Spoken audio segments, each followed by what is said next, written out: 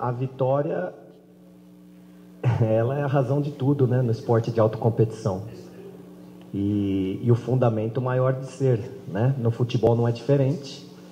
E aonde nós estávamos ali, né, beirando o, o Z4, ainda que em nenhum momento nele estivesse, eh, estivéssemos dentro, isso traz um desconforto. Você passar algumas partidas sem conseguir a vitória, isso traz um desconforto. Mas, felizmente, nunca tirou a segurança. O ano clamava por isso, precisava disso.